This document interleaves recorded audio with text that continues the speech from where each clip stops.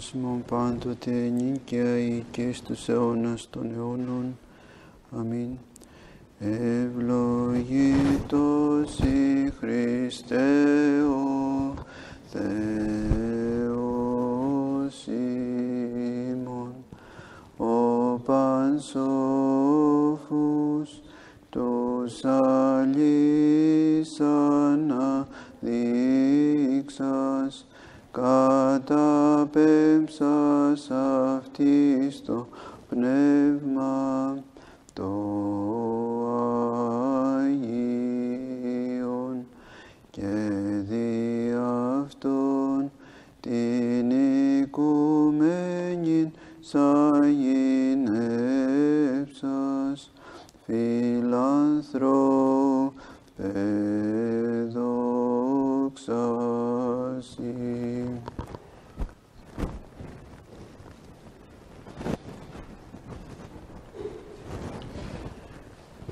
Με τη χάρη του Θεού συνεχίζουμε από τον Ευεργετινό, από τον ε, τρίτο τόμο, την ε, υπόθεση την Δευτέρα, η οποία ε, έχει αναφορά στο Μέγα Αμάρτημα της Κατακρίσεως. Ο τίτλος της υπόθεσης είναι ο εξής.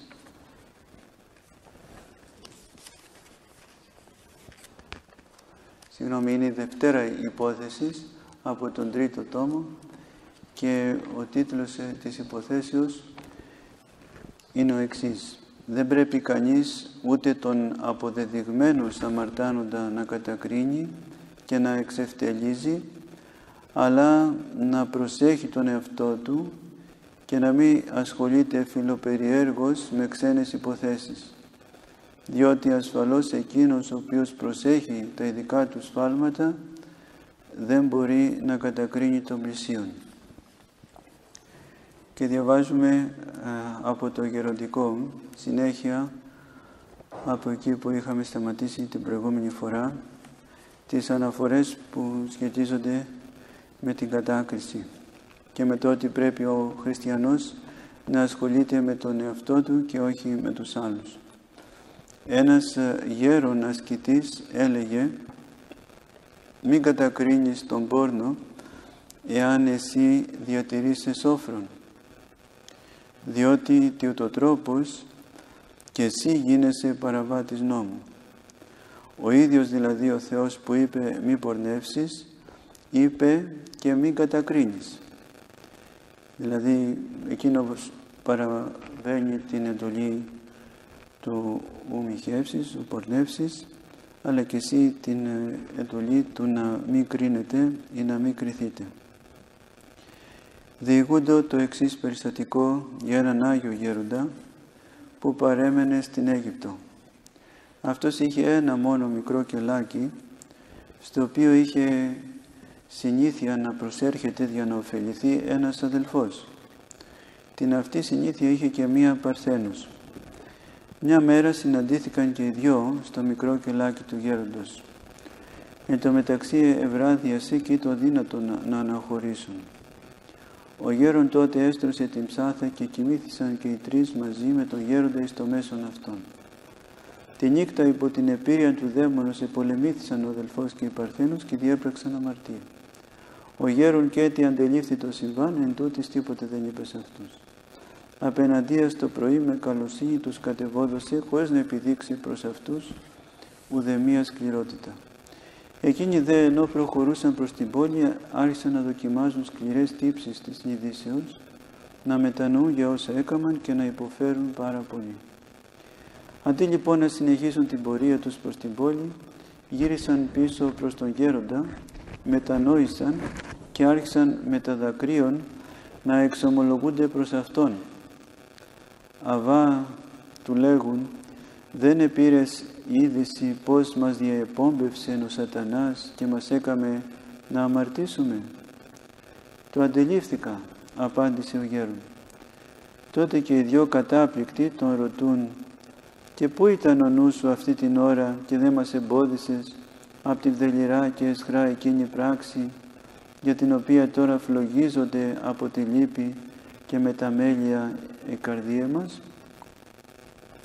Εις απάντηση ο γέρον με συγκίνηση τους λέγει Εκείνη την ώρα ο νους μου βρίσκεται έμπροσθεν του Γολγοθά όπου εσταυρώθη ο Χριστός και εκεί παρέμενε κλαίων.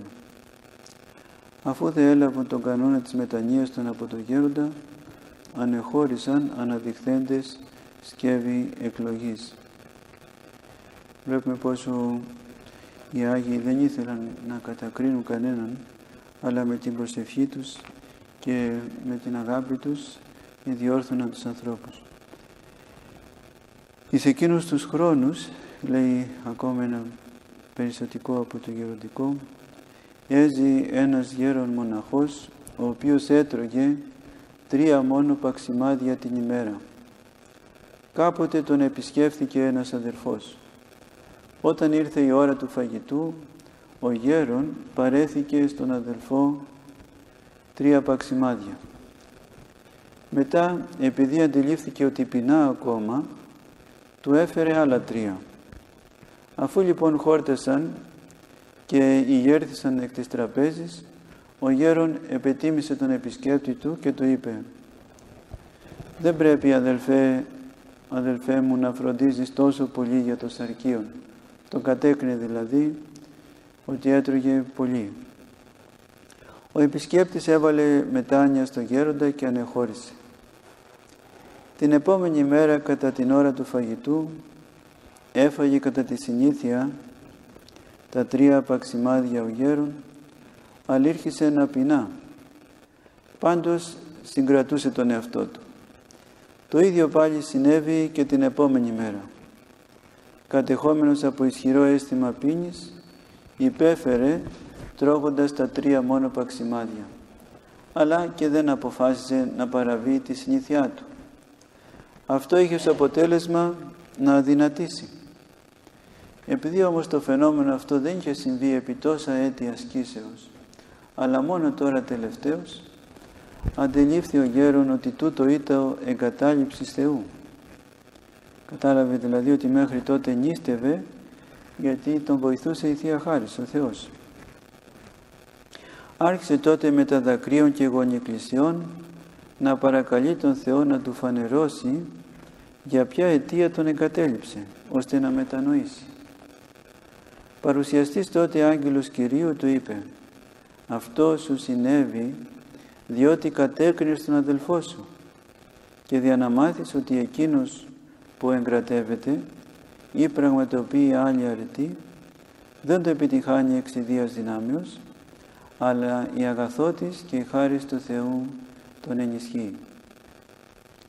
Ένας Άγιος άνθρωπος μόλις είδε κάποιον να αμαρτάνει είπε με δάκρυα «Αυτός αμάρτησε σήμερα και εγώ οπωσδήποτε αύριο». Τι βλέπουμε σε αυτά τα δύο περιστατικά; Στο μέν πρώτο ότι αν κανείς κατακρίνει χάνει τη χάρη και μάλιστα για εκείνο το αμάρτημα που αποκατέκρινε τον άλλον για το ίδιο αμάρτημα που μέχρι τότε φυλαγόταν ε, θα πέσει και στο ίδιο αμάρτημα θα πέσει και αυτός. Είναι ο πνευματικός νόμος. Σε ό,τι κατακρίνεις τον άλλον, αν δεν μετανοήσεις, θα πέσεις και εσύ στο ίδιο αμάρτημα. Πώς αποφεύγουμε την κατάκριση, μας το λέει το δεύτερο περιστατικό. Όταν βλέπεις κάποιον να αμαρτάνει, να λες σήμερα αυτός, αύριο εγώ, εάν δεν προσέξω. Και αυτός μετανοεί και σώζεται, αλλά εγώ δεν ξέρω τι θα συμβεί. Ο ίδιος πάλι σε άλλη περίπτωση είπε «Εάν κανείς με ιονδήποτε τρόπο αμαρτήσει ενώπιον σου, μην τον κατακρίνεις, αλλά να θεωρείς τον εαυτό σου αμαρτωλότερο από εκείνο, έστω και αν πρόκειται περί κοσμικού. Μας λένε οι Άγιοι ότι πρέπει να βάζουμε τον εαυτό μας κάτω από όλους, να επιλέγουμε τον έσχατο τόπο, την τελευταία θέση, να θεωρούμε ότι είμαστε οι πιο αμαρτωλοί από όλους τους ανθρώπους, διότι δεν γνωρίζουμε τι είναι ο άλλος, οπότε το ασφαλές είναι να πούμε ότι εμείς είμαστε πιο αμαρτωλοί, χειρότεροι από όλους. Να βάζουμε τον εαυτό μας κάτω και από όλους τους δαίμονες, να τους θεωρούμε ανώτερους τους δαίμονες από εμάς, γιατί, γιατί εμείς τους κάνουμε υπακοή. Μας ψιθυρίζουν, κάνουν αυτή την αμαρτία και την κάνουμε. Επομένως να θεωρούμε τον εαυτό μας κατώτερο και από αυτούς, αφού τους υπακούμε. Και να το θεωρούμε και εσχρότερο από όλα τα κτίσματα, αφού όλα τα κτίσματα είναι στο καταφύσιν, όπως τα έκανε ο Θεός, εμείς όμως είμαστε στο παραφύσιν, στην αμαρτία.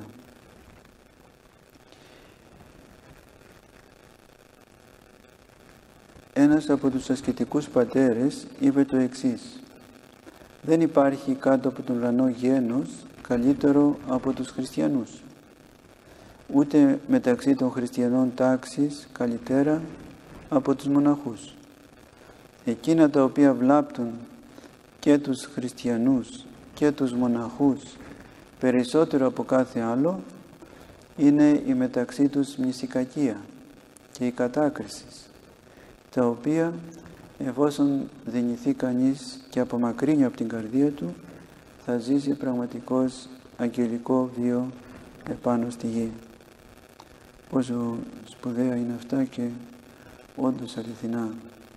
Η μνησικακία και η κατάκριση κατεξοχήν ταλαιπωρούν τους ε, χριστιανούς και τους μοναχούς.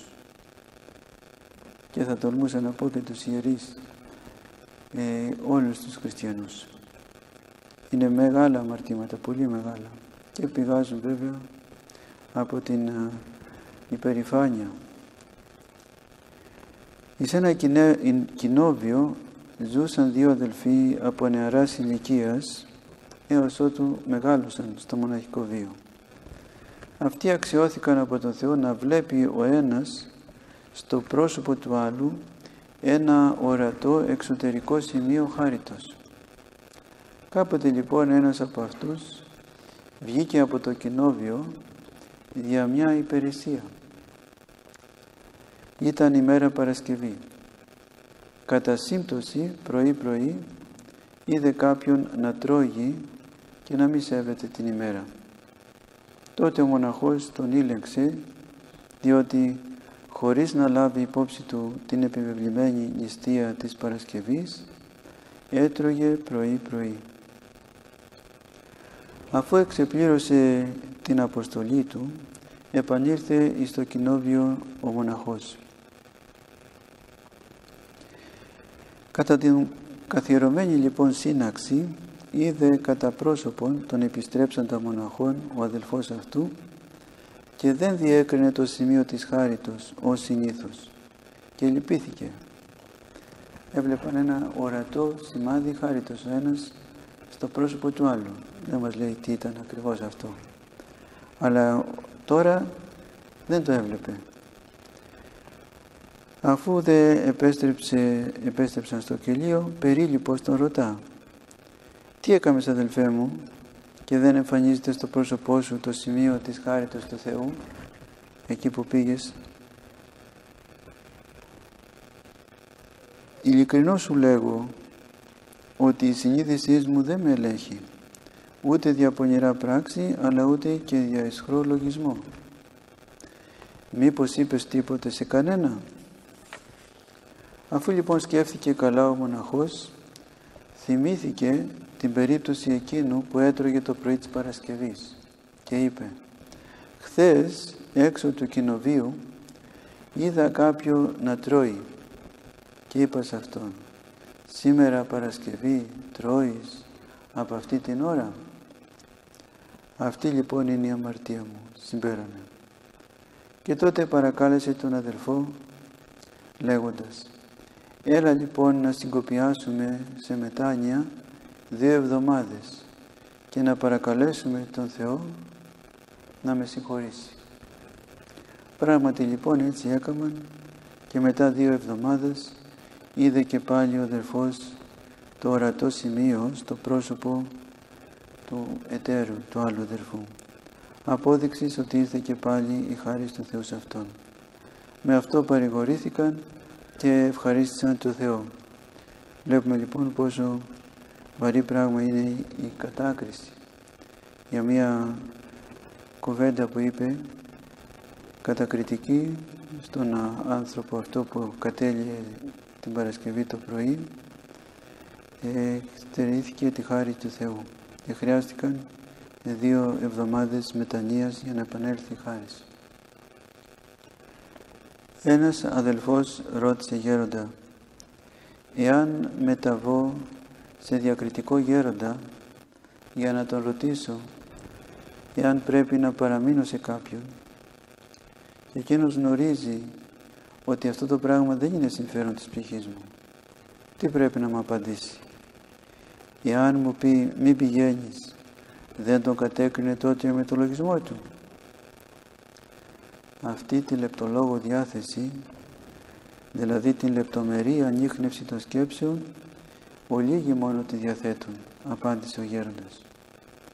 Πάντως, εάν η ενέργειά του οφείλεται σε πάθος, δηλαδή από εμπάθεια και μίσος απαντήσει δυσμενός για έναν άνθρωπο ή τον κατηγορήσει, τον εαυτό του βλάπτει, διότι ο λόγος του δεν έχει καμιά αξία. Πάντως το συμφέρον της ψυχής του απαιτεί στην περίπτωση αυτή να απαντήσει ότι δεν γνωρίζω να σε πληροφορήσω για αυτό που ζητείς και να ελευθερώσεις τον εαυτό του από το πάθος. Εφόσον δεν ελευθερωθεί από το πάθος, κανένα δεν κατακρίνει πλέον. Αλλά κατακρίνοντας τον εαυτό του, προφασίζεται άγνοια του περιού ερωτάτε λέγοντας «Εκφύσεως αδελφέ μου είμαι ακοινώνητος και δεν συναστρέφομαι κανένα. Μη με ρωτάς λοιπόν». Εφόσον δε ο ερωτών είναι συνετός, δεν πηγαίνεις στο πρόσωπο εκείνο, διότι αντιλήφθηκε το νόημα του γέροντος και την αγαθή του πρόθεση ότι μεριμνώ για τη δική του σωτηρία ομίλησε έτσι. Γι' αυτό και ο λόγος του συμβουλεύοντος είναι δυνατός να πληροφορήσει τον ακούοντα ώστε να εφαρμόσει τη συμβουλή. Βλέπουμε πόσο προσεκτικοί είναι οι Άγιοι Πατέρες στο να μην κατακρίνουν και να μην κινούνται ποτέ από εμπάθεια. Πληροφορήθηκε κάποτε ένας Άγιος ασκητής, λέγει ακόμα ένα περιστατικό από το γεροντικό, ότι ένας αδελφός περιέπεσε σε πορνεία και είπε «Ω, άσχημα έκανε». Μετά από λίγες ημέρες πέθανε εκείνος ο αδελφός. Αμέσως λοιπόν φανηρώθηκε στο γέροντα ένας άγγελος Κυρίου συνοδεύουν την ψυχή του κοιμηθέντος αδελφού και του λέγει με αυστηρότητα «Κοίταξε αυτό που κατέκρινες εκοιμήθη». Πού διατάσσεις λοιπόν να το τοποθετήσω, στη βασιλεία των ουρανών ή στην κόλαση; Ο γέροντας μετά την οπτασία αυτή παρέμεινε έως το τέλος της ζωής του, παρακαλών τον Θεό με δάκρυα πολλά και σκληρούς αγώνες μετανοίας να το συγχωρέσει για αυτό του το αμάρτημα. Πήρε το μήνυμα από τον Άγιο Άγγελο ο οποίος ούτε λίγο ούτε πολύ είναι σαν να του έλεγε εσύ είσαι ο κριτής της οικουμένης και επομένως θα πρέπει εσύ να αποφασίσεις πού να τον βάλω αυτόν στον παράδεισο, στη Βασιλεία του Θεού ή στην κόλαση. Συμπεριφέρθηκες σαν να ήσουν ο κριτής της οικουμένης και κατέκρινες αυτόν τον άνθρωπο λίγες μέρες ε, πριν πεθάνει. Ένας γέροντας είπε κάποτε «Εάν δεις κανένα να τρώγει πολύ και αδιακρίτως ή να γελά αδιαφόρος, μην τον κατακρίνεις». Είπε καλύτερα «Ευτυχής ο άνθρωπος αυτός, διότι δεν έχει αμαρτίες και γι' αυτό χαίρεται η ψυχή του». Δηλαδή να βάζουμε πάντα καλό λογισμό και να μην είμαστε έτοιμοι να πυροβολήσουμε τον άλλον. Να τον κατακρίνουμε, να τον χτυπήσουμε με τα λόγια ή με τους λογισμούς μας. Ένας Άγιος Γέρον ασκητής είπε «Εάν δεις κάποιον με τα μάτια σου να πίπτεις στην αμαρτία, αμέσως να πεις «Ανάθεμα σε σένα, σατανά». Η φράση αυτή λέει εδώ μια υποσημείωση ο Βεγετινός δεν θεωρείται βλασφημία, διότι ο σατανάς ούτως ή άλλως είναι κατηραμένος από τον Θεό. Όταν λοιπόν κάποιος αμαρτάνει να αναθεματίσει στον διάβολο. Με τον τρόπο αυτό περιφρουρείς την καρδία σου από την κατάκριση και δεν αναχωρεί από εσένα το Πνεύμα το Άγιο. Ενώ αν κατακρίνεις, χάνεις το Άγιο Πνεύμα. Εν συνεχεία δε να λες τον εαυτό σου όπως αυτός νικήθηκε από τον εχθρό τι ούτω τρόπος είναι ενδεχόμενο να νικηθώ κι εγώ. Με δάκρυα δεν να ζητείς τη βοήθεια του Θεού και να συμπαθείς Αυτόν που χωρίς την θέλησή Του έπαθε διότι πράγματι κανείς δεν θέλει να αμαρτήσει ενώπιον του Θεού. Αλλά όλοι ως άκης αμαρτάνουμε εξαπατώμεθα υπό του διαβόλου. Ο μεγάλος απαταιώνας είναι ο διάβολος ο οποίος μας εξαπατά όλους. Σε εκείνον πρέπει να ρίχνουμε το φταίξιμο και όχι στον αδερφό μας ένας άλλος ασκητής διηγήθη το εξής περιστατικό.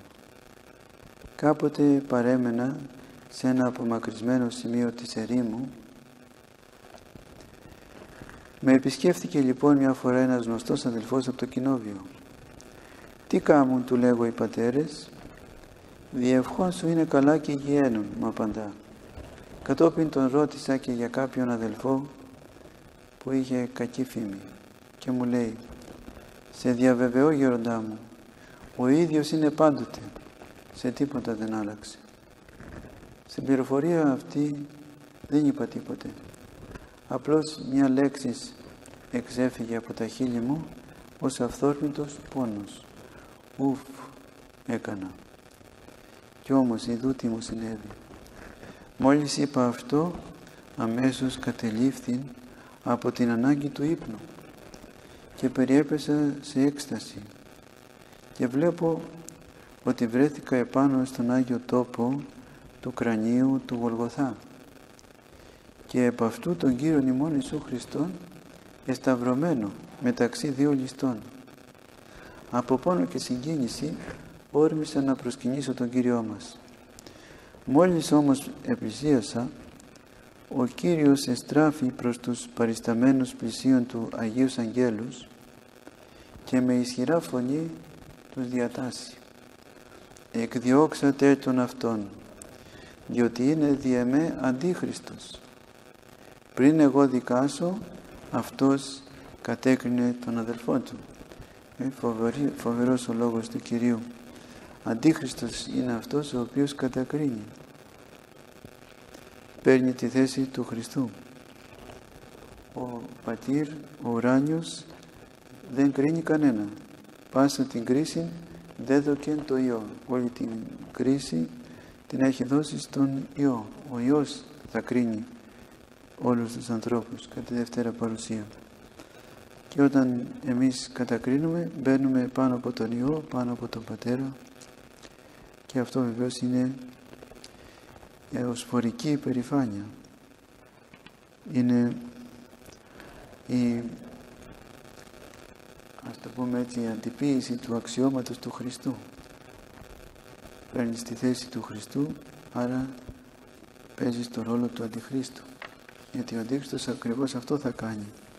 Θα φανερωθεί ως Χριστός και θα εξαπαντήσει πολλούς.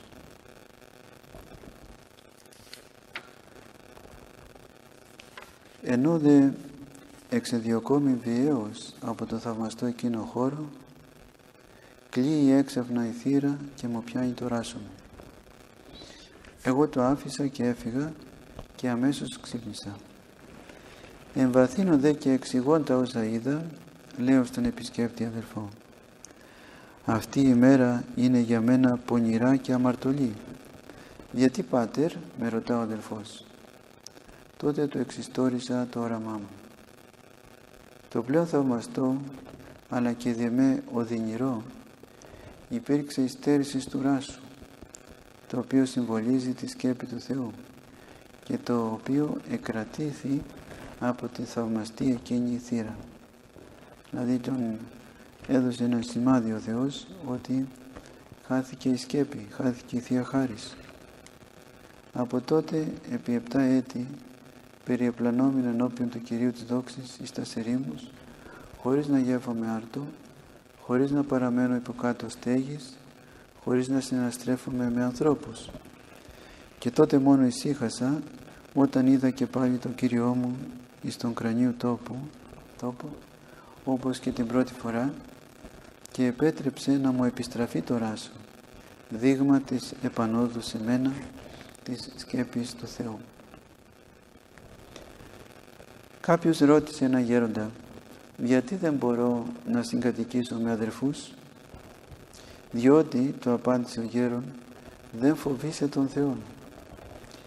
Εάν είχες υπόψη σου συνέχισε τη γραφή που αναφέρει ότι ο Λότ εσώθη μέσα εις τα Σόδομα επειδή δεν κατέκρινε κανέναν, τότε και εσύ θα μπορούσες και με θερία ακόμα να συγκατοικήσεις χωρίς κανένα φόβο.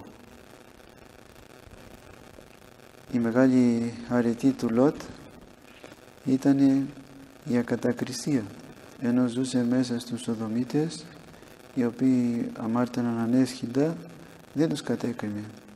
Γι' αυτό και ο Θεός τον έσωσε. Αν ο άνθρωπος δεν κατακρίνει λέει εδώ ο γέρον εάν φοβάται τον Θεό τηρεί τις εντολές του Θεού είναι ταπεινός τότε χωρίς κανένα φόβο μπορεί να συγκατοικήσει και με άγρια θηρία γιατί όποιος έχει το φόβο του Θεού δεν φοβάται τίποτε άλλο.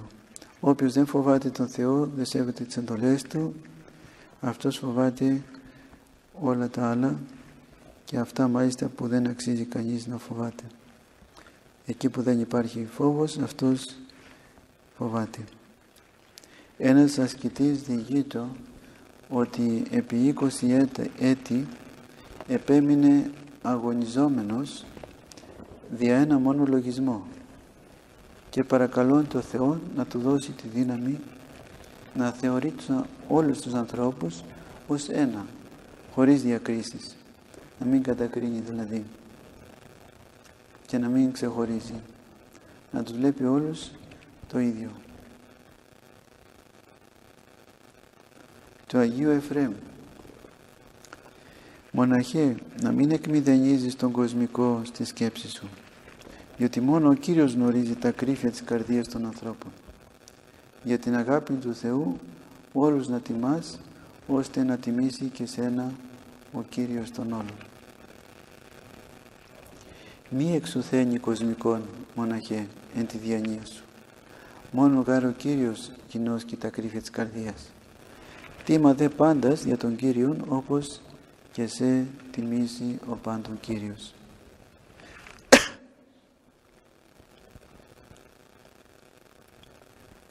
ποτέ δεν ξέρουμε τι είναι ο άλλος και γι' αυτό ποτέ δεν πρέπει να κατακρίνουμε τον άλλον. Μόνο ο Κύριος γνωρίζει τα κρυφά της καρδιάς του κάθε ανθρώπου. Γι' αυτό και οφείλουμε να τιμούμε όλους τους ανθρώπους. Και έτσι θα τιμήσει και μας ο Κύριος. Τίμα πάντας για τον Κύριο όπως και σε τιμήσει ο πάντων Κύριος. Μη εξουθένει κοσμικών εν τη διανία σου. Μόνο γάρ ο Κύριος γενόσκει τα κρύφια της καρδίας, λέει ο Άγιος Εφραίμ.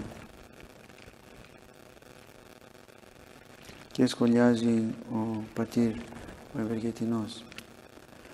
Πάρα πολύ ωραία όσιος πατήρ Εφραίμ τοποθέτησε στις, στην ανωτέρω συμβουλή του τις λέξεις και την έννοια εν τη διανία σου. Μη εξουθένει κοσμικών μοναχέ εν τη διανία σου.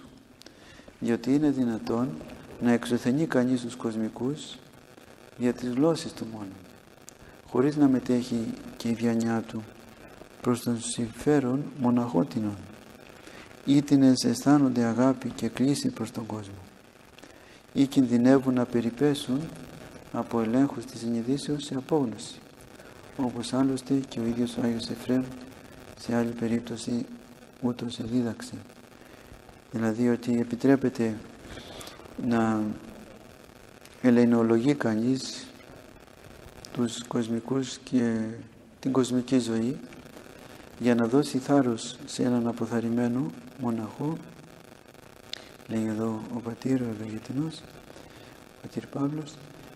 Και επίσης ε, να, για να ενισχύσει τους ε, μοναχούς στην αποταγή τους στην παραμονή τους μακράν του κόσμου. Όταν κανείς εξουδενώνει τον κοσμικό και τον κοσμικό τρόπο ζωής για αυτό το λόγο αυτό ε, είναι επιτρεπτό μας λένε οι Άγιοι. Και ο Άγιος Εφραίμ το λέει σε άλλο σημείο Γι' αυτό και εδώ σχολιάζει ο Πατήρ Παύλος στην σκέψη σου, στη διάνοιά σου να μην ε, εκμηδενίζεις τον κοσμικό. Αλλά με τα λόγια μπορεί να το κάνεις όπως είπαμε για αυτούς ε, τους δύο λόγους. Και έτσι ολοκληρώσαμε και αυτή την ε, υπόθεση, τη δεύτερη υπόθεση περί κατακρίσεως Μήπως πριν πάμε στην επόμενη υπάρχει κάποιο ερώτημα;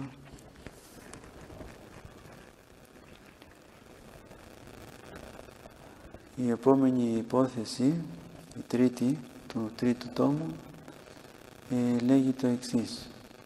Δεν πρέπει κανείς να σκανδαλίζει με πράξεις εκτελουμένας χωρίς εντολή.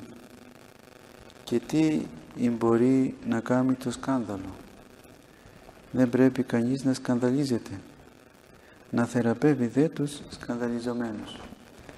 Έτσι αυτή η υπόθεση αφορά στο σκάνδαλο. Πότε κανείς σκανδαλίζει και πότε σκανδαλίζεται και ότι δεν πρέπει ούτε να σκανδαλίζουμε ούτε να σκανδαλιζόμαστε. Δεν πρέπει να κάνουμε τίποτε χωρίς εντολή, χωρίς ευλογία. Ε, ότι ου δίτινα εν της μη κατεντολήν σκανδαλίζει. Και τι δίνατε το του σκανδάλου όνομα. Και ότι ου δι σκανδαλίζεστε. Τους δε σκανδαλιζομένους θεραπεύει. Θα πρέπει να φροντίζεις να θεραπεύεις, να παρηγορήσεις αυτούς που σκανδαλίζονται. Ας δούμε. Τι σημαίνει σκάνδαλο. Στην κυριολεξία σκάνδαλο σημαίνει αυτό το παλούκι το οποίο μπήγουν στη γη και κάποιοι κακοί άνθρωποι και το κρύβουν λίγο ε, με χόρτα κλπ. ώστε να λειτουργήσει ως παγίδα. Ένας λοιπόν που περπατάει και δεν το βλέπεις, κοντάφθει πάνω σε αυτό το, το ξύλο που είναι πηγμένο στο χώμα και πέφτει κάτω. Αυτό λέγεται στην κυριολεξία σκάνδαλο. Το σκάνδαλο. Ο Κύριος βεβαίως μας είπε ότι ποτέ δεν πρέπει να σκανδαλίζουμε. Και αλίμονο είπες σε εκείνον που θα σκανδαλίσει ένα των μικρών τούτων. Ένα από τους ταπεινούς δηλαδή απλούς που είναι σαν τα παιδιά α, χριστιανούς. Αλίμονο. Και τι σημαίνει σκανδαλίζω; Βάζω ένα εμπόδιο στην πορεία του ανθρώπου προς τον Θεό. Δηλαδή κάνω κάτι το οποίο παραβαίνει το νόμο του Θεού και αυτό το παίρνει και ο άλλος ως διδαχή, το μιμείται και φεύγει και αυτός από το δρόμο του Θεού. Για παράδειγμα τώρα που έχουμε νηστεία, ένας που δημόσια καταλύει, σκανδαλίζει. Δεν θα πρέπει να το κάνει δημόσια. Μπορεί να έχει κάποιο λόγο και να φάει, αλλά θα πρέπει να το φάει χωρίς να το βλέπουν οι άλλοι οι οποίοι νηστεύουν. Ένας ο οποίος ε, πηγαίνει σε μια συγκέντρωση και εκεί όλοι καταλύουν αυτός είναι χριστιανός και νηστεύει αλλά εκεί καταλύσει και αυτός σκανδαλίζει. Γιατί δίνει το μήνυμα και στους άλλους ότι η νηστεία δεν είναι τίποτε. Και μάλιστα πολλοί το κάνουν αυτό με την πρόφαση ότι αν δεν καταλύσω θα σκανδαλιστούν οι άλλοι αν σκανδαλιστούν και θυμώσουν και στεναχωρηθούν κλπ. Φταίνε αυτοί. Θα έπρεπε να στεναχωρηθούν διότι παραβαίνουν την εντολή της νηστείας και όχι επειδή εσύ την τηρείς. Δεν πρέπει να λογαριάσουμε αυτό το σκανδαλισμό των ανθρώπων των ανώμων οι οποίοι σκανδαλίζονται επειδή δεν παρανομούμε, επειδή τηρούμε τον νόμο του Θεού. Αν όμως και εμείς συμπλέψουμε μαζί τους, από φόβο μήπως θυμώσουν και λοιπά, μήπως σκανδαλιστούν, τότε πραγματικά σκανδαλίζουμε. Γιατί δείχνουμε ένα λάθος δρόμο που δεν οδηγεί στην σωτηρία αλλά στην απώλεια. Το δρόμο της καταφρόνησης της νηστείας, της άσκησης. Πάρα πολλοί άνθρωποι σήμερα κατηγορούν τους ελάχιστους που έχουν απομείνει πνευματικούς οι οποίοι λειτουργούν σωστά σύμφωνα με τους ιερούς κανόνες και τους λέγουν αυστηρούς, τους λένε φανατικούς, κολλημένους κλπ, αδιάκριτους. Τι θα πρέπει να κάνουν αυτοί οι πνευματικοί, να συμπλέψουν με το ρεύμα, με τους πολλούς, οι οποίοι αδιακρίτως συγχωρούν τα πάντα και επιτρέπουν σχεδόν τα πάντα και μάλιστα τα σαρκικά φοβερά αμαρτήματα. Όχι βέβαια. Θα πρέπει να μείνουν σταθεροί γιατί δεν σκανδαλίζουν όταν τηρούν τους ιερούς κανόνες όπως λέει το Ιερό Πιδάλιο όπως μας λένε οι Άγιοι Πατέρες αλλά θα σκανδαλίσουν όταν παραβαίνουν τους ιερούς κανόνες άσχετα αν οι υπόλοιποι τους χειροκροτήσουν. Οι ελάχιστοι εναπομείνατες χριστιανοί δεν θα τους χειροκροτήσουν. Αντίθετα τώρα τους επενούν και αυτό είναι η απόδειξη του ανθρώπου του Θεού ότι είναι σημείο αντιλεγόμενο όπως είναι και ο Χριστός. Με τη συμπεριφορά του αληθινού χριστιανού κάποιοι θα συμφωνήσουν και θα τον επενέσουν ίσως οι λιγότεροι γιατί είναι πολύ λίγοι πλέον οι άνθρωποι του Θεού. Και πιο πολλοί εντός εισαγωγικών θα λένε ότι σκανδαλίζονται ε, με τη συμπεριφορά του και θα τον κατηγορήσουν και θα τον πούνε ακόμα και αιρετικό και φανατικό και πλανεμένο κλπ. Δεν πρέπει να υπολογίζουμε αυτούς αλλά να κάνουμε ε, πάντοτε το, λόγο, το θέλημα του Θεού χωρίς να λογαριάζουμε τις αντιδράσεις των ανθρώπων. Στο γεροντικό Μερικοί αδελφοί από ένα κοινόβιο εξίδαν στην έρημο για να επισκεφθούν έναν ασκητή. Ο ασκητής τους υποδέχθηκε με μεγάλη χαρά και καθώς συνηθίζουν οι ασκητές, επειδή τους είδε κουρασμένους από την πορεία, τους έστρωσε τραπέζι ενωρίτερα της ορισμένης ώρας και τους εφήλευσε με ό,τι είχε στο πτωχό του ασκητήριο και ο τρόπος τους ευχαρίστησε. Μόλις ευράδιασε από την όλη ακολουθία όρισε μόνο 12 ψαλμούς.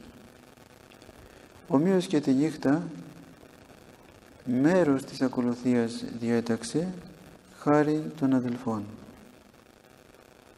Δηλαδή συνέτεμε την προσευχή.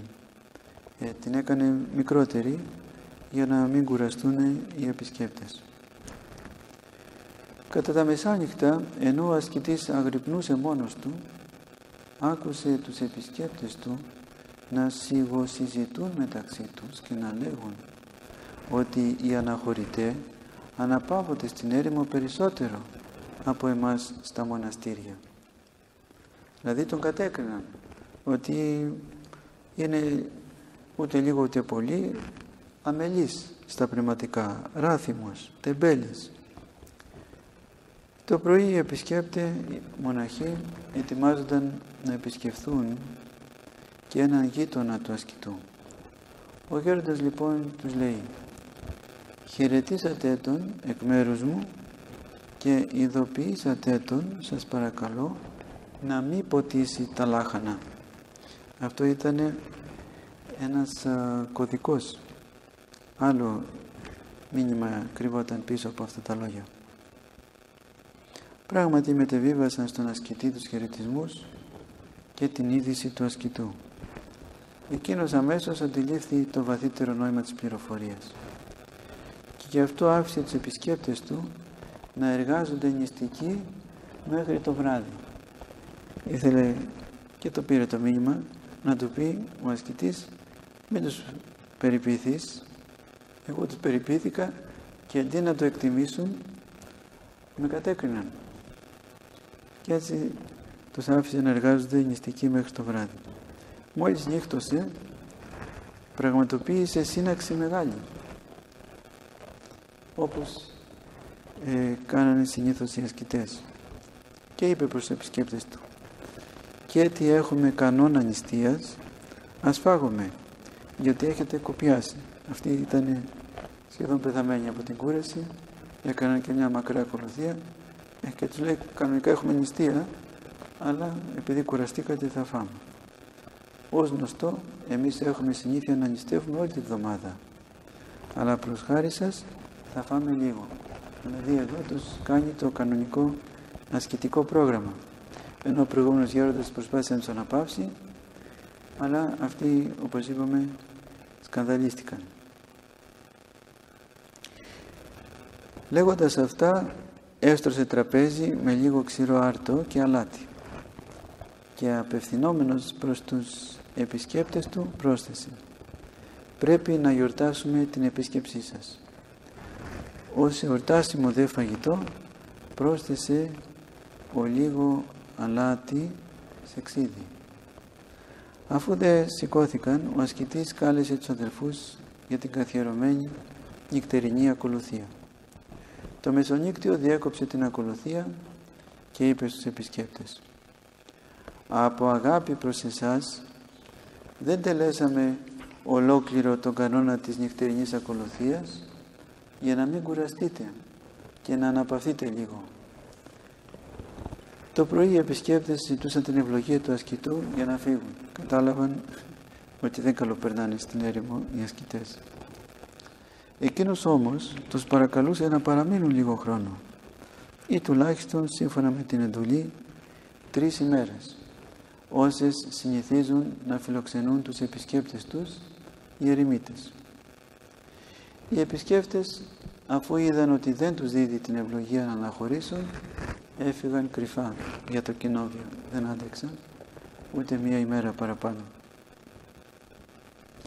Και έτσι διδάχτηκαν έμπρακτα από τους Αγίους Πατέρες να μην κατακρίνουν αλλά να βάζουν καλό λογισμό γιατί ο Άγιος εκείνος ασκητής ο πρώτος τους ε, ανέπαυσε προσπάθησε να τους ε, αναπαύσει αλλά αυτοί είχαν κακό εργοστάσιο μέσα τους που παρήγαγε κακούς λογισμούς.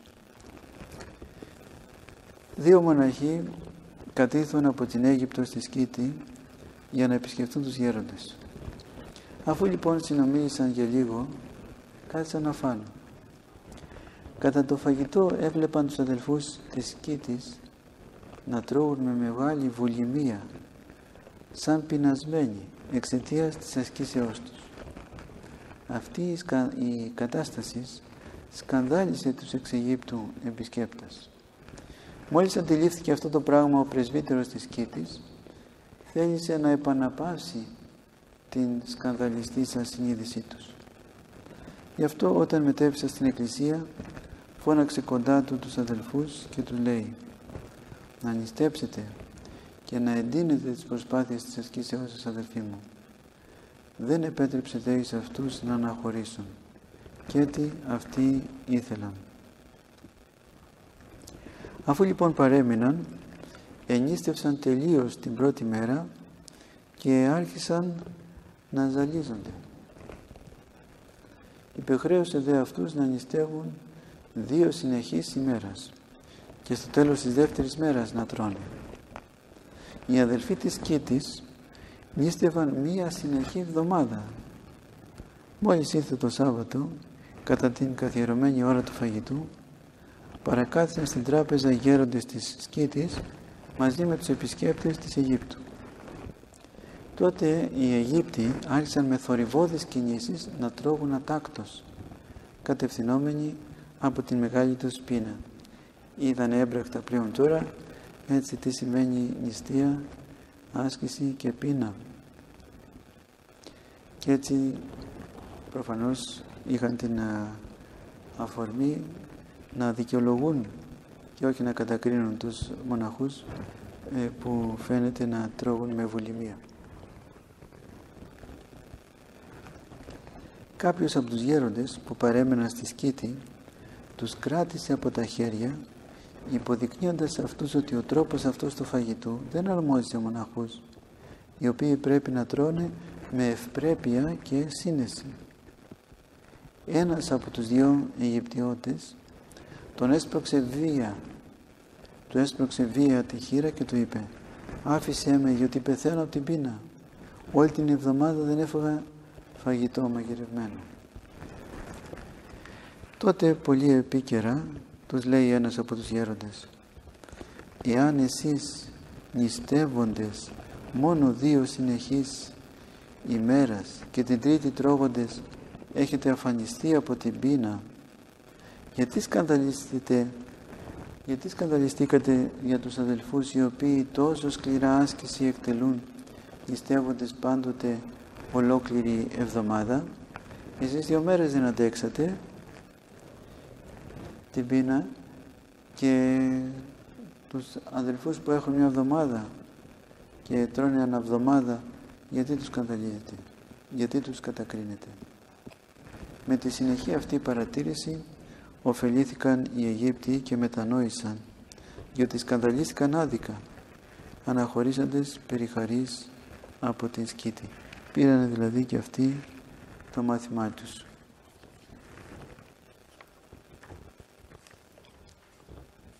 Θα πούμε και λίγα από τον Αβά Βαρσανούφιο και θα σταματήσουμε ένας αδελφός υπέβαλε την εξής ερώτηση στο, σε γέροντα ασκητή εάν εκτελώ μια υπηρεσία την οποία νομίζω απαραίτητο και σύμφωνο με τη λογική και κάποιος προσπαθεί να με διορθώσει χωρίς να έχει δίκιο πρέπει να απολογηθώ και να του εξηγήσω πώς έχει το πράγμα ή να μην ομιλήσω καθόλου αποφεύγοντας έτσι την καινοδοξία στην παρατήρηση αυτή ο γέροντας απαντά Εάν δεν υπάρχει λόγος να απολογηθείς, μη μιλήσεις. Εάν όμως η υπόθεση σκανδαλίζει τον αδελφό σου και του ενοχλεί των λογισμών, τότε μη φοβηθείς την καινοδοξία, αλλά να του δώσεις τις αναγκαίες εξηγήσεις και να του ηρεμήσεις την συνείδηση. Βλέπουμε πως πάντα έχει προτεραιότητα ο αδελφός και η ανάπαυση του αδελφού. Εάν βλέπεις να σκανδαλίζεται ο αδερφός σου, θα πρέπει να μιλήσεις. Εάν δεν σκανδαλίζεται, δεν χρειάζεται να πεις τίποτε. Να ε, απολογηθείς.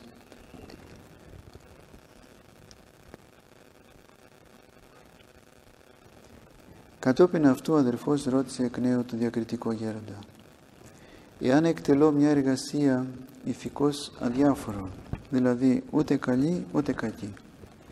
Και αντιληφθώ ότι εάν δει την εργασία αυτή ένας αδελφός, θα σκανδαλιστεί σε μένα.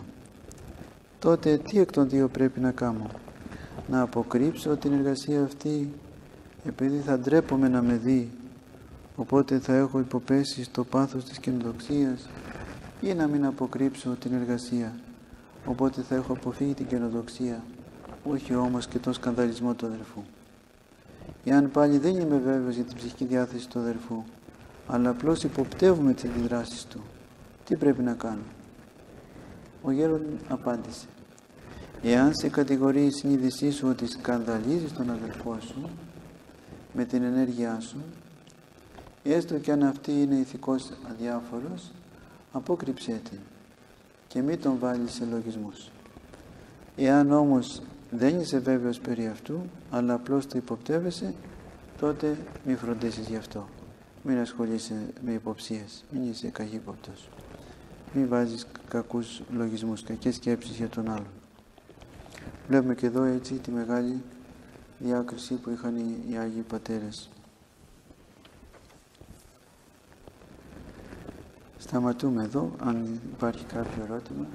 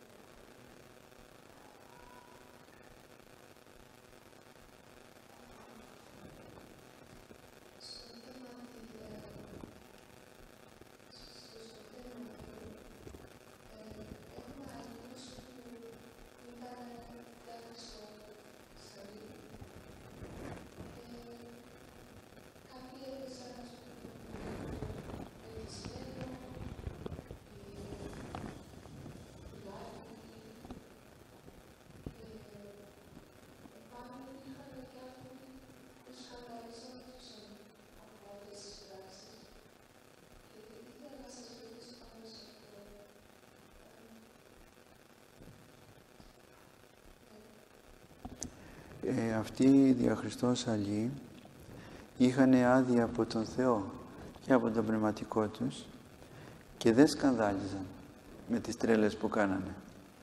Δηλαδή, χάρη του Θεού, το Άγιο Πνεύμα τους σκέπαζε και τους άλλους αδερφούς τους σκέπαζε και δεν σκανδαλίζονταν. Πληροφορούνταν από τον Θεό και δεν σκανδαλίζονταν. Έτσι. Είναι ειδικό χάρισμα αυτό για πολύ πολύ μεγάλους Αγίους και πολύ πολύ ταπεινούς. Εμείς θα πρέπει να κάνουμε ό,τι μπορούμε, να μην σκανδαλίζουμε τους άλλους, να μην δίνουμε δηλαδή κακό πρότυπο, κακό παράδειγμα όπως λέμε. Με το να παραβαίνουμε ε, δημόσια τις εντολές του Θεού. Να πω ένα άλλο παράδειγμα. Σήμερα πάρα πολλοί νέοι συζούν και αυτό βέβαια είναι ένα μεγάλο σκάνδαλο. Και ήδη βέβαια βλάπτονται πάρα πολλοί που αμαρτάνουν, αλλά και όλη η Εκκλησία σκανδαλίζεται γιατί δίνουν ένα κακό παράδειγμα σε όλους. Και στους νεότερους, τα μικρά παιδιά, στους εφήβους, τους λένε ότι δεν είναι τίποτε ο γάμος, τον καταφρονούμε το γάμο, ενώ τον έχει θεσπίσει ο Θεός, ε, το Πνεύμα του Άγιο. Και χρειάζεται η ευλογία του Αγίου Πνεύματος για να ζουν δύο πρόσωπα και να έχουν οικογένεια. Αυτοί με τον τρόπο που ζουν σκανδαλίζουν. Υπάρχει την περίπτωση τώρα αυτοί να μην αμαρτάνουν, έτσι να είναι απλώς ε, στο ίδιο σπίτι, αλλά χωρίς να έχουν αρχικές σχέσεις και αμαρτία, ε, να κάνουν αμαρτία μεταξύ τους. Πάλι όμως αμαρτάνουν διότι ο κόσμος που τους βλέπει δεν γνωρίζει ότι αυτοί είναι σαν αδέρφια, έτσι βάζει το λογισμό ότι ζουν κανονικά σαν ανδρόγυνο ενώ δεν είναι παντρεμένοι και πάλι σκανδαλίζουν. Οπότε σε καμιά περίπτωση δεν επιτρέπεται ε, αυτό το πράγμα, αυτό το φαινόμενο. Είπα ένα παράδειγμα, πως κανείς σκανδαλίζει τους άλλους. Γι' αυτό πρέπει πάντοτε να προσέχουμε ε, να μην δίνουμε αφορμή ε, σκανδαλισμού σε κανέναν.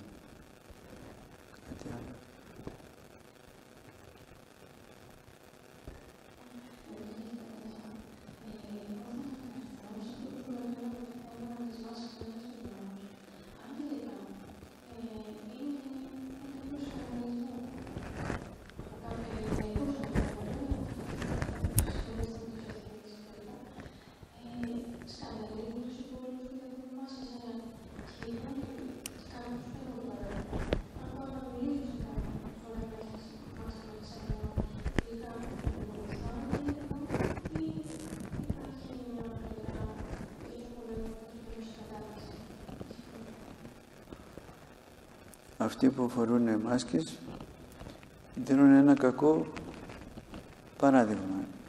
Μέσα στην Εκκλησία όλα είναι αγιασμένα και ο αέρας είναι αγιασμένος με τη χάρη του Αγίου Πνεύματος και όπως μας λένε οι Άγιοι με το θυμίαμα ε, το οποίο προσφέρεται στο Θεό το ευλογείο ιερέας με το θυμίαμα αγιάζεται και ο αέρας του ναού.